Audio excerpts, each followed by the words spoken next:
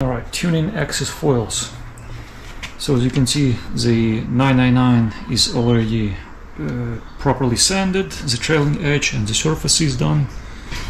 So all the paint is removed and this is 1099 that I'm gonna do right now. It has all the paint.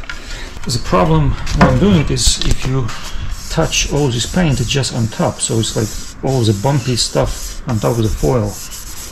But the same as this one, it's not good.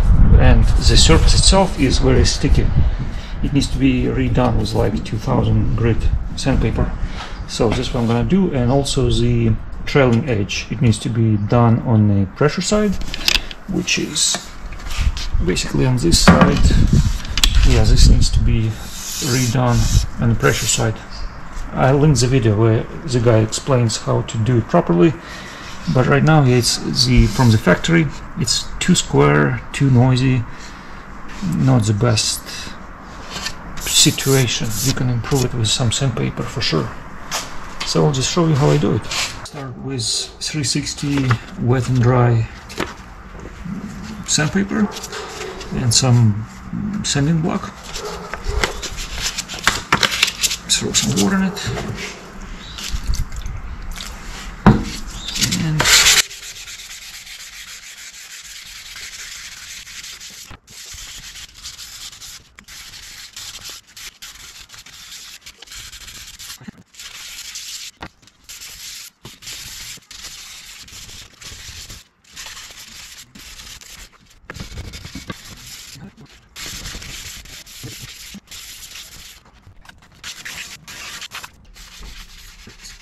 almost done.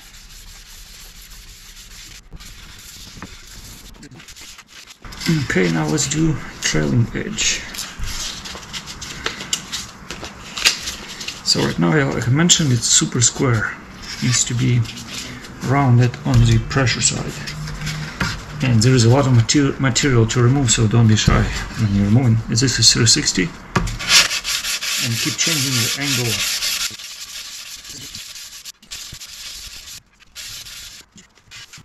probably can't see it on the camera but basically uh, you see it's like maybe 3 4 mil. And then it's like you have this lip as it goes down trying to round it up. So first I'm removing the material and then I'll round it up at the end. And this side is not done. You see there is a square edge. This one is not sharp yet but uh, sharpens this one for sure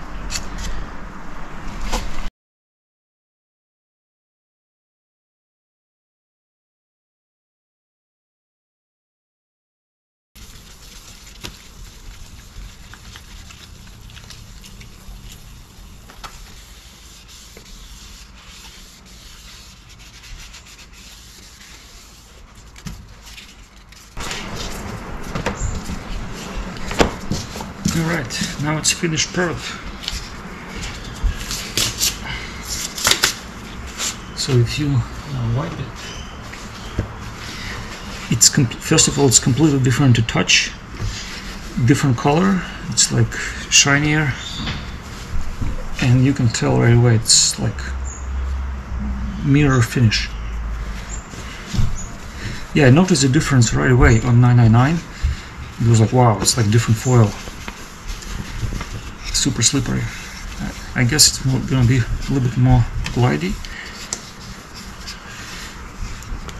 I don't know why they don't do it on the factory.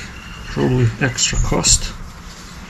Yeah, and the paint on top doesn't make any sense. It just creates this like uneven surface. But it's probably cheap to do so.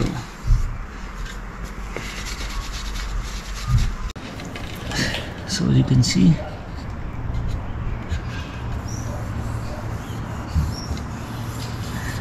Touch all this paint just on top so it's like all the bumpy stuff on top of the foil. It's like super slippery the surface. And on this side if you can see it's a trailing edge this is pressure side. So it's mounted basically in the water the water sits like this. So from this side we just sand it. It's not sharp but it's just enough.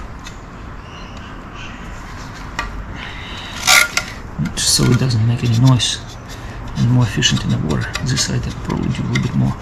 It's thicker part so you need to remove more material on this side. Here it's pretty much enough. After you do the front wing do the same to the stabilizer. Basically the only difference is the pressure side. On the stabilizer you would do the trailing edge from, this side. Versus on the wing you would do it from the bottom in this position. And here it's from the top. And another thing you can do to improve the performance is to put a shim but not the one that comes in a package. You need to 3D print this one. So uh, this shim makes the stabilizer flatter in relationship to the fuselage the one that comes with the package creates even more downward angle. You don't want that. It's going to increase the drag so we want the opposite. That's how it looks installed.